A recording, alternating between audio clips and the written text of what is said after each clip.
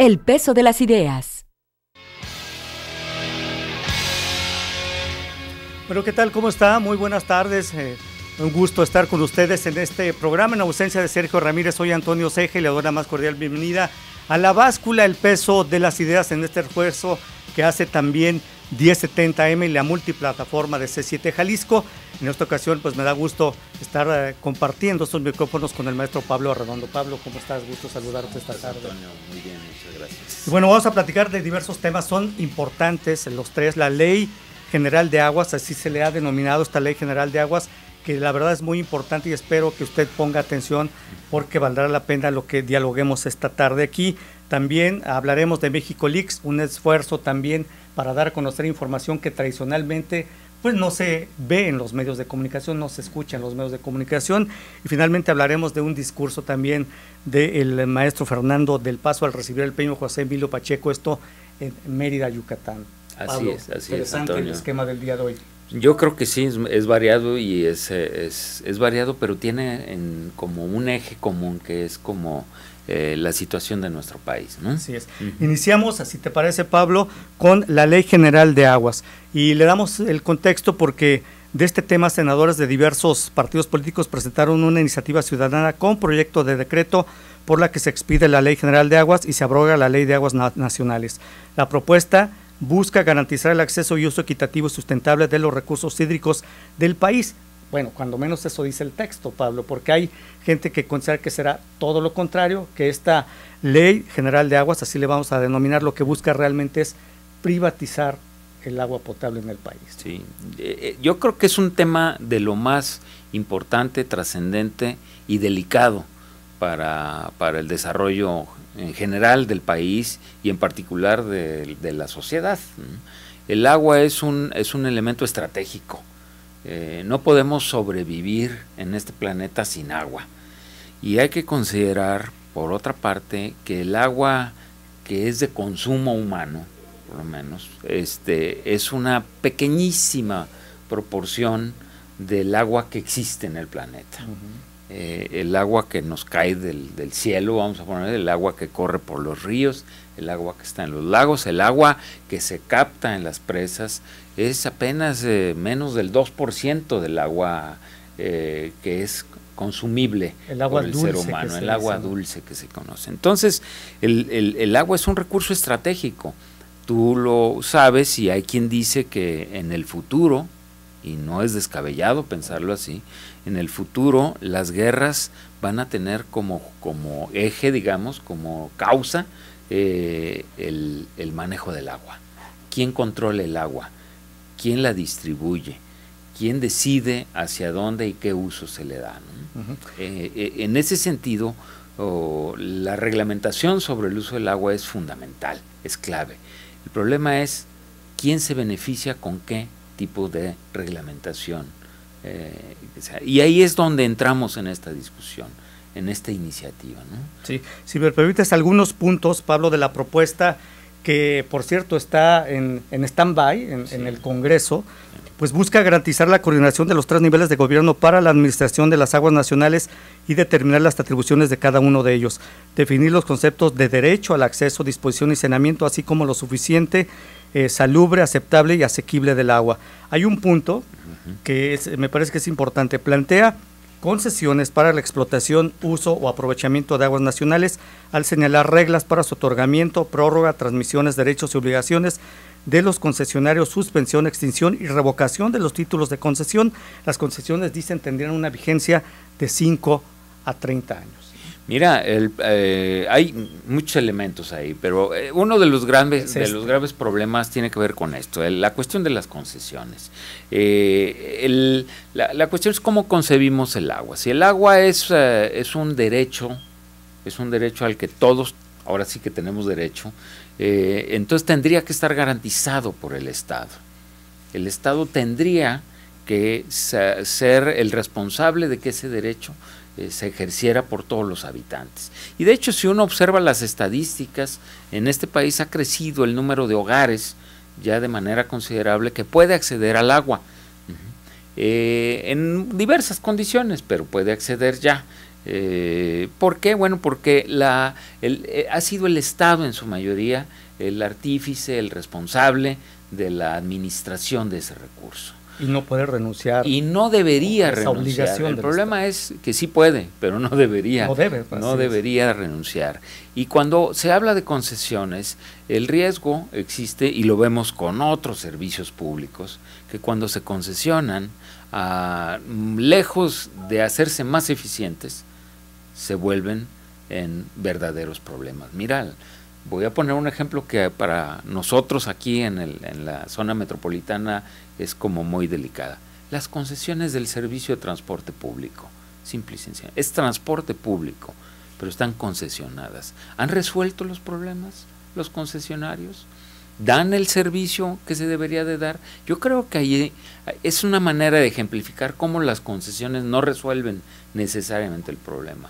Y con toda franqueza, yo creo que los concesionarios pues han sabido explotarlo en su beneficio pero no necesariamente en el interés del público de la sociedad. Y luego siempre que se habla en este país de privatizaciones, como que la experiencia nos dice que no han sido muy exitosas, ¿no? No, hemos privatizado, hemos quebrado carreteras, bancos y una serie de empresas y de iniciativas que el, que el, que el Estado ha tenido que regresar a recuperar o a salvar de alguna manera o a equilibrar la experiencia.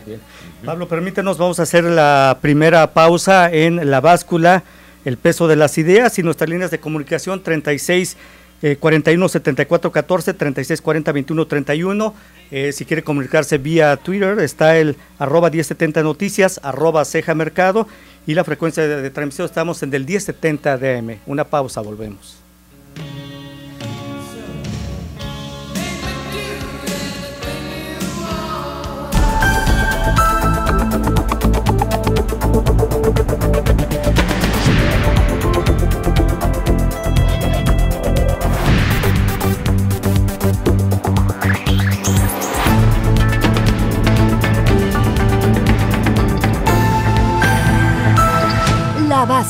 el peso de las ideas.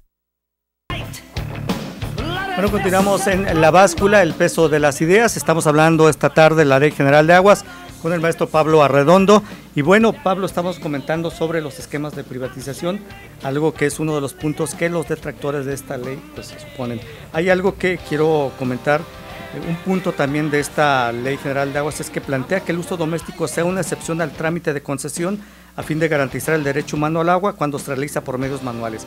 Parece que en este punto quiere decir... Quiere decir cuando se realiza por, medios, manuales. Este punto no lo entiendo en esta, pero lo que sí dice es una excepción al trámite de concesión para uso doméstico. Quiere decir que este esquema de privatización no entraría para el suministro de agua en los hogares, ¿no? Eh, no, no queda claro, no queda claro, sobre todo por esa frase última que dice cuando se realiza por medios manuales. o sea, ¿qué quiere decir? Que yo agarro la cubeta, voy a la. Que debemos tener un pozo en nuestras casas para poder utilizar el agua. Yo creo que el riesgo, porque ese ha sido el intento, y déjame comentarte, que no es, un, no es algo nuevo es algo que viene de eh, por lo menos unos 15 años a nivel internacional empujándose muy fuerte. Expertos en, la materia informan que este es un programa del Banco Mundial, finalmente. Es el Banco Mundial quien está estableciendo este, la idea de que el servicio de agua tiene que privatizarse en mayor, el mayor número de partes del mundo posible. Eh, evidentemente los países de bajo desarrollo o de mediano desarrollo son más susceptibles en un momento dado de que se generen excesos en estos procesos de, privatización. Nos ha sucedido con otras cosas aquí en, el país. ¿no? Eh, el punto es entonces hasta qué grado porque esto es una materia demasiado delicada, hasta, hasta qué grado realmente los legisladores están considerando, primero, el punto de vista de los expertos, que eso es bien importante, ¿no? Científicos, expertos, que tienen los datos duros sobre cuál es la situación del agua en este país, ¿no? Eh, ya sea desde el punto de vista del, biólogo, del, del, experto agropecuario o del sociólogo también, que sabe cuál es la situación, que prevalece en la distribución y consumo de agua en distintas regiones del país. Entonces, ¿qué tanto se está incorporando el punto de vista de los expertos? Ese es uno. Dos, ¿qué tanto se debate públicamente sobre esto? Porque parecería ser que los legisladores se encierran, ah, sacan un acuerdo y a final de cuentas este, terminan imponiéndolo, digamos, a la mayoría. Y de hecho, la iniciativa se atoró entre otras, entre otras cuestiones, primero porque se filtró, eh, que ahí venía, que ahí venía y que venía con ciertas condiciones. Uno de los legisladores de la oposición confesó después que entre lo que habían acordado originalmente y la iniciativa que iba a ser votada, ya había cambios, ya se le habían hecho modificaciones. O sea, entre un espacio de la Cámara y la otra, en el, en el mismo lugar, se le hacen modificaciones y llega a este, va supuestamente bajo consenso, pero sin consenso en realidad. Y quién sabe después de cuántos cabildeos que quizá hagan algunas empresas interesadas. así es. Ahora, regresemos al punto. En efecto, la privatización ya existe de muchas maneras, la privatización del agua. Hay que reglamentarla, hay que regularla eh, es menester hacerlo, pero se tiene que hacer considerando sobre todo que el agua es un derecho humano y como tal es un derecho social eh, y que deberíamos de ser como muy cuidadosos con qué va a pasar con los sistemas de distribución de agua. Porque el agua no la producimos, es, es, la, es la, misma agua que, que, hay en el planeta, es la que se está reciclando. No hay una producción como tal. Hay formas de reciclar el agua en otro sentido, ¿no? Este, de limpiar de limpiarla, de purificarla, etcétera. Pero en realidad es el mismo recurso y es un recurso muy escaso. Después, ¿qué usos se van a, privatizar y autorizar? Existe el temor de que la nueva ley eh, legitime, legalice el uso de grandes cantidades de agua para la producción, por ejemplo, de petróleo el famoso fracking. El fracking que termina destrozando realmente el medio ambiente y que termina consumiendo grandes cantidades de agua que podrían ser para consumo humano. Entonces, ¿se va a legitimar eso? ¿Se va a legalizar eso? Eso es lo que está en juego. Eh, eh, privatizar el agua está en otros sentidos. Yo te comentaba, ¿no? es decir, ya pues lo vemos en, las botellas de, agua que compramos regularmente. ¿no? Y esa es agua bueno, privatizada pero es muy distinto que tú abras eh, la llave del, del, agua en tu casa y que el día de mañana te llegue la factura no por un organismo público al que podemos sino de una ver, empresa, sino de una empresa. ¿Qué haces con la empresa?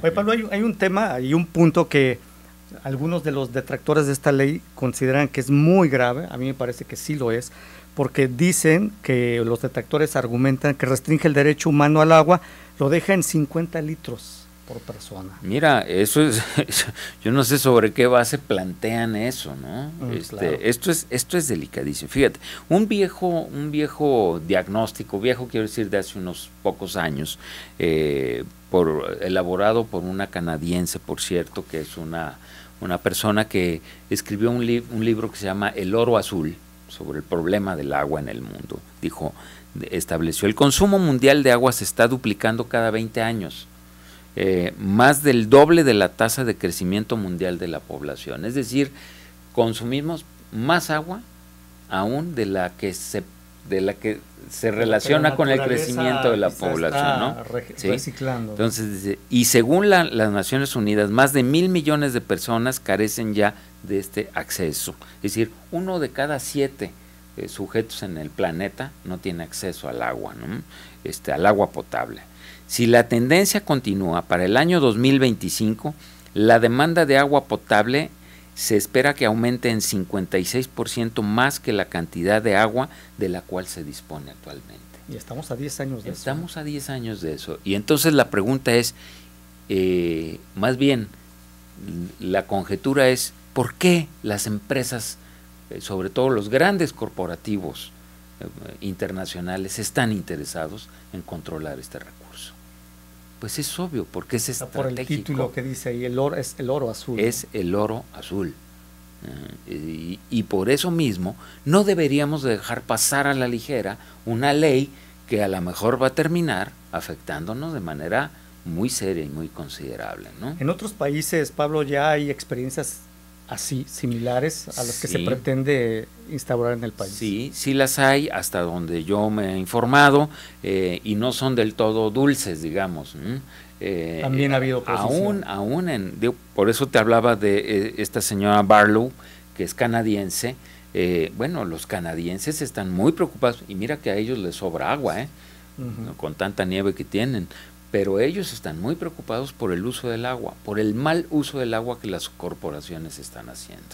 Este, en lugares como la Bahía de San Francisco hay movimientos de resistencia porque se están haciendo usos del agua industrial, de manera industrial, que están afectando el medio ambiente en, el, en la Bahía de San Francisco.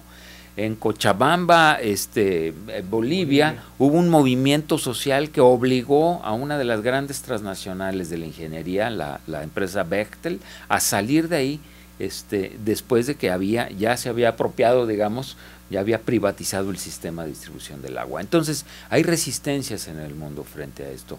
Puede que haya algunas experiencias también muy positivas, no lo dudo, habría que conocerlas, habría que verlas. Pero por lo pronto las experiencias de privatización, insistimos que tenemos en México, no, no son muy alentadoras. No han sido nada buenas, por desgracia. Así es. Bueno, eh, vamos a hacer una pausa y ponemos a su disposición nuestras líneas de comunicación 3641-7414, 3640-2131, el Twitter arroba 1070 Noticias y mi Twitter a su disposición arroba ceja mercado. Una pausa, volvemos.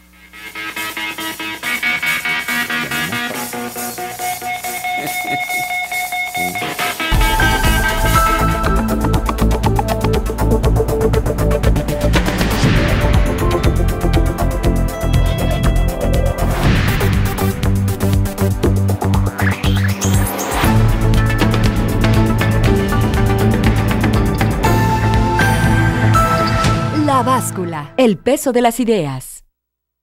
Bueno, continuamos en este jueves de gobernanza en la báscula con el maestro Pablo Arredondo. Vamos a tocar el siguiente tema que es México Leaks. Pablo, interesante este tema porque si usted ha escuchado hablar de Wikileaks, bueno, pues es algo similar lo que se pretende establecer en el país y esto es eh, que con la intención de acercar a los ciudadanos y a los medios de comunicación y de realizar un trabajo conjunto en materia de colaboración informativa nace México Leaks, una plataforma que busca, dicen, ser una herramienta para que aquellas personas que posean información de interés público y que deseen filtrarla, es decir, debe ser información muy exclusiva o muy clasificada, que deseen filtrarla de manera segura, y este es el punto, pues tengan algún medio o organización civil para así encontrar un espacio de salida para esta información. Pablo, México Leaks. Bueno, es un fenómeno, eh, es interesante, muy interesante observar eh, cómo de pronto surgen estas iniciativas, que eran, bueno, quizás algunos años eran impensables, pero pues a raíz, a raíz precisamente de, situaciones que se han sucedido, como el famoso caso de Wikileaks, que no fue más que eso, fue la posibilidad de concentrar una gran cantidad de información que se suponía que era confidencial eh, y de poderla, aprovechando la nueva tecnología, aprovechando la sociedad de la red, este, subirla y ponerla a disposición de cualquier cantidad de personas que quisieran consultarla. ¿no? Es una manera de transparentar. Eso, es, eso, es, eso habría que, considerar. Lo que hay de fondo en esto es un intento por transparentar información. Em, y entonces, bueno, lo que esta iniciativa, que es distinta en, términos organizativos a lo que es Wikileaks, porque este es como un pool, llamémosle así, un, conglomerado de, agencias de información y de, eh, profesionistas de la información, periodistas. Sí, de hecho Pablo dice que está la organización detrás de esto, la organización holandesa eh, Prensa Libre Sin Límites, dedicada a apoyar a periodistas de todo el mundo para desarrollar mecanismos de comunicación con los ciudadanos. En efecto, es decir, de lo que se trata es cada ciudadano puede ser un observador, puede ser alguien que tenga la información o acceda a la información que otros ciudadanos necesitan conocer y que muchas veces los medios tradicionales no la dan a conocer por unas u otras razones o que muchas veces el ciudadano no se atreve a difundir por temor por tratarse de informaciones muy, muy este, estratégicas. Por los propios medios tradicionales. ¿no? los propios medios tradicionales. Entonces, porque los, los medios tienen sus propias agendas, ¿no? sus intereses. Eso es, eso es normal, es natural, siempre ha sucedido. Pero de pronto el ciudadano necesita estar informado de cosas más allá de las agendas de los propios medios. Wikileaks a nivel mundial fue eso, ¿no? Fue un decirnos, miren, ya se enteraron de esto, ya se enteraron de lo que pasaba aquí, ya se enteraron de cuáles eran las estrategias, por ejemplo, de lucha contra el narcotráfico durante el sexenio del presidente Cedillo, aquí está el documento, ¿no? O aquí están los documentos. Y se supone que eran documentos o son documentos eh, que eran clasificados altamente confidenciales y que fueron publicados sin ninguna restricción. Sin ninguna restricción, eh, gracias a Internet. Y, México Leaks lo que está pretendiendo hacer es, es algo equivalente, algo por el estilo. Es decir, este grupo de organizaciones eh, periodísticas que... Pues mira, está Animal Político, MX, eh, más de 131 periodistas de a pie, Poder, Red en Defensa de los Derechos Digitales, Proceso y MBS Noticias, Aristegui Noticias, pero aquí Ahí ya, empezó el conflicto. A ella empezó el conflicto. A, Carmen Aristegui, pues eh, la está descalificando su propia la empresa, digamos, el medio de comunicación con el que ella trabaja. Es algo que veremos en, qué termina. Eh, es algo que tampoco deja muy buen sabor de boca porque finalmente Carmen Aristegui ha sido una de esas voces a las que han tratado de callar de una u otra manera. No olvidemos que Felipe Calderón hizo hasta lo imposible por, uh, por evitar que Carmen Aristegui estuviera eh, difundiendo lo que difundía. ¿no? Eh, es una voz incómoda para muchos. Bueno, ahora resulta que también es incómoda para su propio medio que de una manera... ya en una ocasión estuvo fuera de MBS, estuvo, claro, y por presión social regresó a, los micrófonos de En efecto, por eso uno se pregunta si no estará pasando, no se estará reeditando esa situación, ¿no? Pero bueno, esa es, esa es una parte, es una consecuencia de esta iniciativa que está surgiendo. Eh, todavía es muy pronto para ver en la práctica las bondades de la iniciativa, porque... Sobre todo el tema de eso, de de forma segura. ¿Qué tan seguro va a ser para los ciudadanos que de veras posean información confidencial el ánimo de difundirla? ¿Qué seguridad habrá para tendremos, ellos? Tendremos que... Se supone que estas organizaciones, sobre todo la, organización holandesa que está asesorando, pues eh, tiene toda una metodología para, para que sus hackers, ahora sí que, porque este es un problema de hackers, ¿no? ¿Cómo le haces para que tu información, mm, digo, para que no te puedan seguir el rastro? Tú tienes una información, la transmites, pero ¿cómo le haces para que no te sigan el rastro? Considerando, considerando que ya es posible seguir el rastro de, muchas cosas en la red, ¿no? Digo, por eso hay ciberpolicía ya también. Eh, digo, y para bien también, muchos delitos se están cometiendo ahora por la vía de la internet, ¿no? Eh, pero si tú quieres ser un informante anónimo, ¿cómo te garantizan el anonimato? Esa es una verdadera... Eh, Fíjate, hay un punto también, Pablo, que me llama la atención a mí. Dice, el hecho de que cualquier ciudadano comparte información a través de México Leaks no significa que se publicará en alguno de los medios que participan en este movimiento, sino que todos los datos recibidos primeramente serán verificados, analizados y, de ameritarlo, publicados por la alianza de colaboradores formada por organizaciones civiles y medios de comunicación. Esta es una diferencia con Wikileaks. Wikileaks publicaba todo, ¿no? Sí, yo creo que lo importante aquí es evitar el riesgo de que de pronto te seas víctima, digamos, de alguien que quiere malinformar y tú de buena, de buena voluntad caigas creyendo que eso es, esa es la, que quiere utilizar esta plataforma para otros fines, ¿no? Con otros fines, para descalificar, para una serie de cuestiones así, para, para generar un entorno eh, erróneo, digamos, equivocado, de opinión pública, en fin. Yo creo que en eso eh, me parece que por lo menos el planteamiento es muy válido.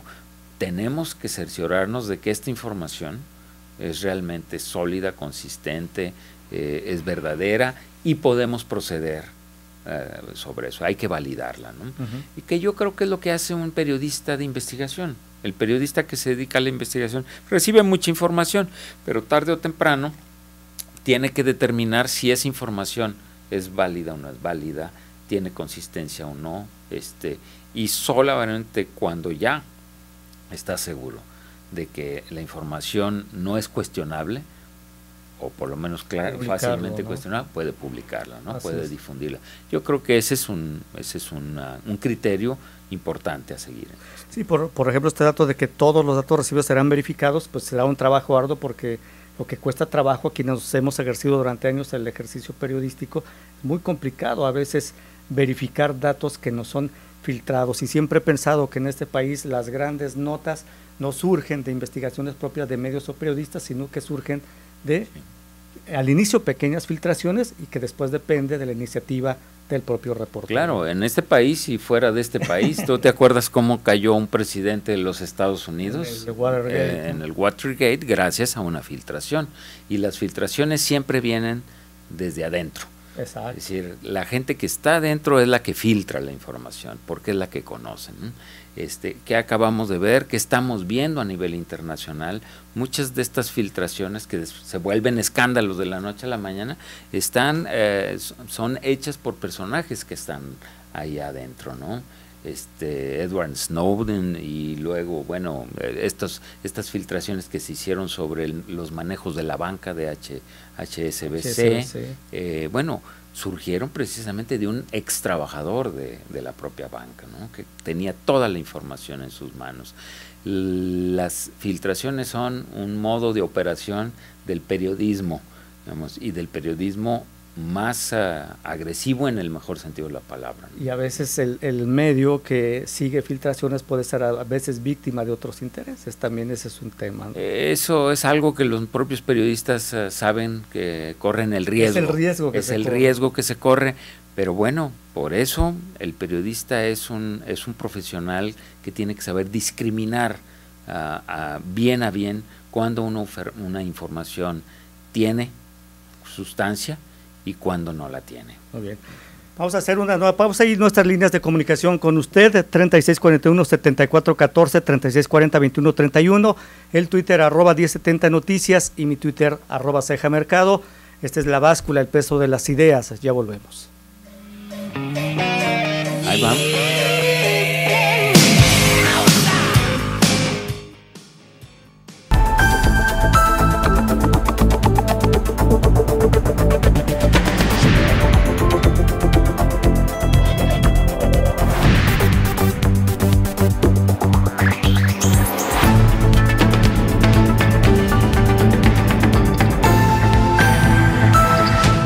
Báscula, el peso de las ideas.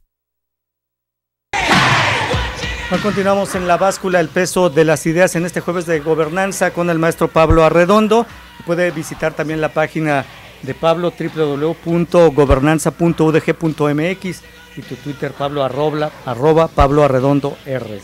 Gracias. Las primeras letras con mayúsculas. Así es, así es. Es bueno, no es mi página, es la página del instituto de Investigaciones en Innovación y Gobernanza de la Universidad de Guadalajara, en donde tenemos, entre otras cosas, algunos de los ah, informes que de vez en vez comentamos aquí en el programa. Muy bien, vamos a seguir con el siguiente tema, que es un discurso, me parece muy emotivo, que dio Fernando del Paso al recibir el premio José Emilio Pacheco a la excelencia literaria, esto en el marco de la Feria Internacional del Libro en el estado de Yucatán.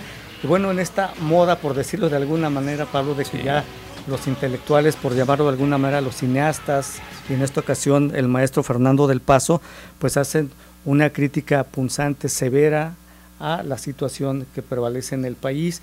Y eh, Fernando del Paso, vamos a dar lectura a algunos de los fragmentos de su discurso, ¿te parece, Pablo? Dijo el maestro del Paso, me duele hasta el alma que nuestra patria suave parece volver a ser la patria mitotera, revoltosa y salvaje de los libros de historia y muy a su estilo también recordó su amistad con, el ya fallecido José Emilio Pacheco y se refirió contundentemente a los sucesos que se viven en México, sobre todo la inseguridad. Quiero decirte, José Emilio, que yo también amé a tu manera esa patria de los cuantos bosques y ríos y de la ciudad monstruosa que fue tu cuna y la mía. Sí, mira, eh, Antonio, yo creo que es importante que nuestras voces más lúcidas, nuestros intelectuales, nuestros autores, nuestros creadores, eh, nos recuerden que ellos, que ellos son muy sensibles frente a lo que está pasando en el país. Y yo creo que son, en, más de un sentido, una conciencia. Eh, estoy seguro que si viviera Carlos Fuentes estaría diciendo algo parecido, si viviera Carlos Monsiváis estaría diciendo algo parecido, si estuviera Octavio Paz estaría diciendo algo parecido.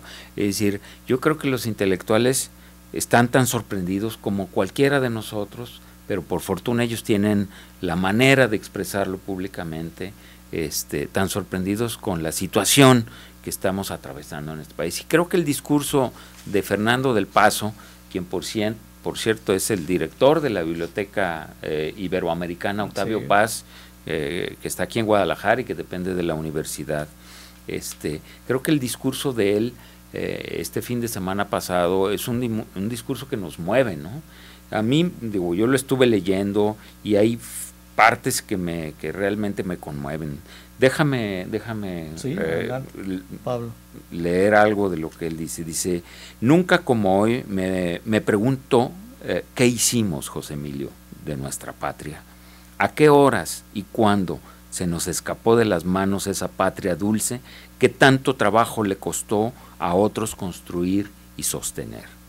Ay, José Emilio, Sí, dime cuándo empezamos a olvidar que la patria no es una posesión de unos cuantos, que la patria pertenece a todos sus hijos por igual, no solo a aquellos que la cantamos y que estamos muy orgullosos de hacerlo, también a aquellos que la sufren en silencio.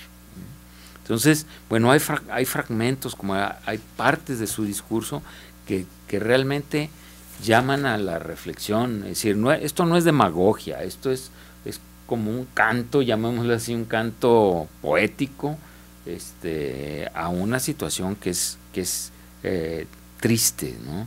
Eh, dice, algo se está quebrando en todas partes, cita a José Emilio Pacheco.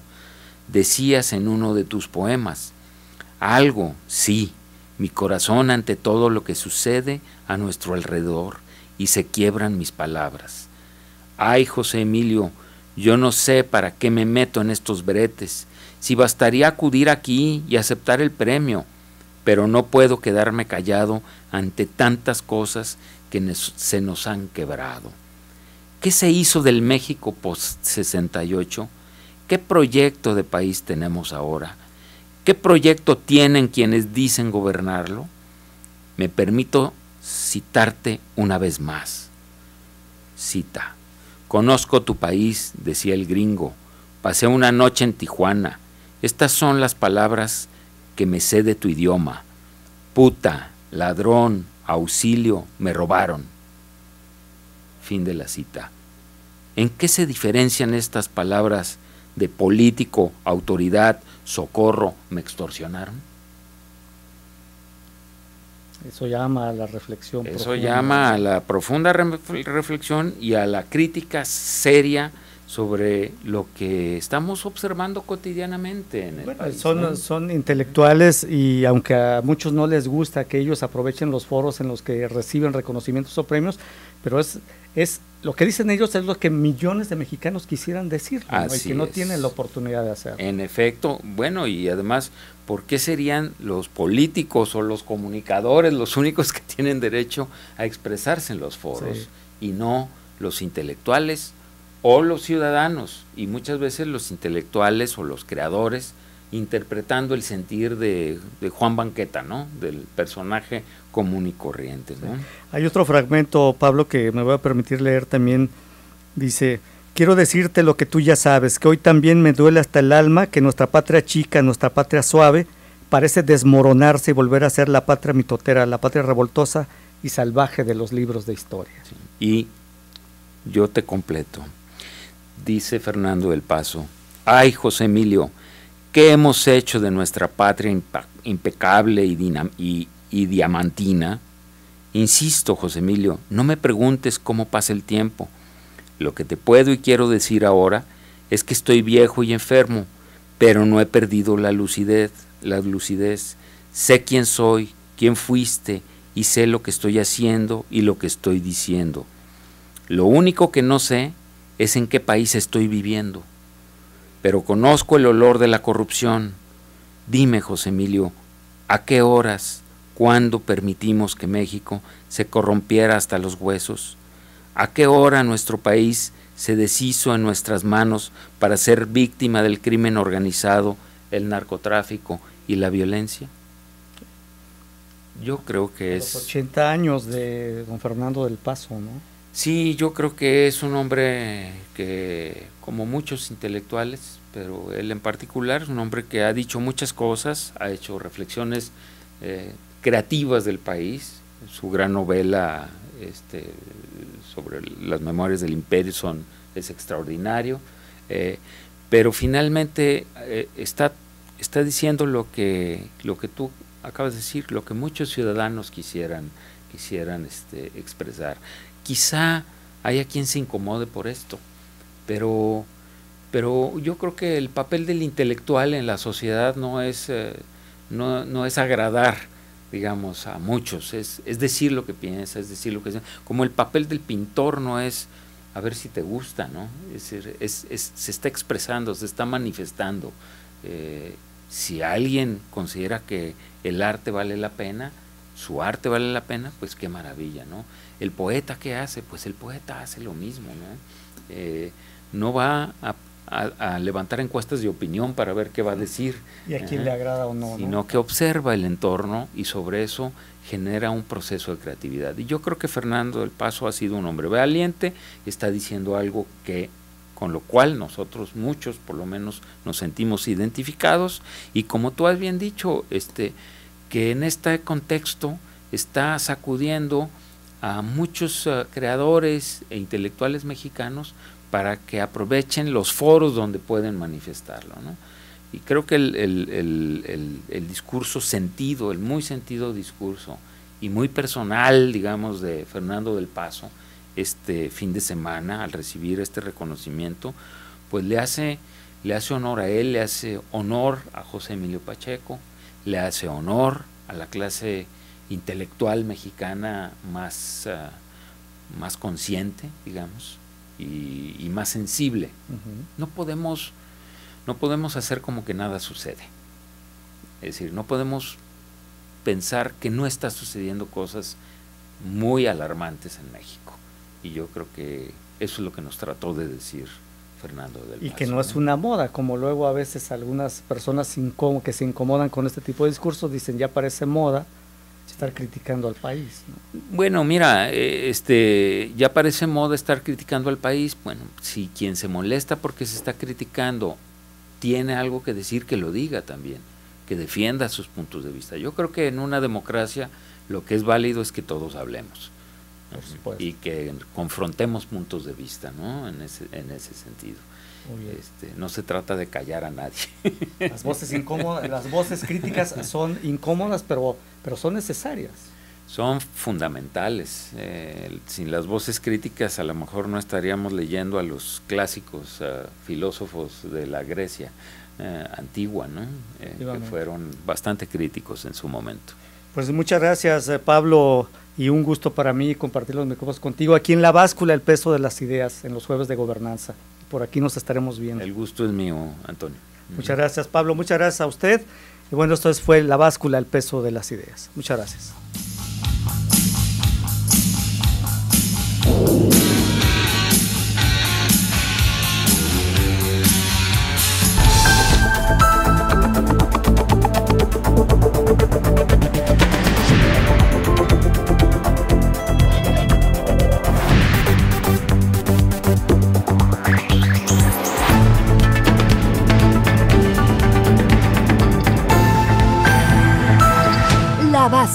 El peso de las ideas.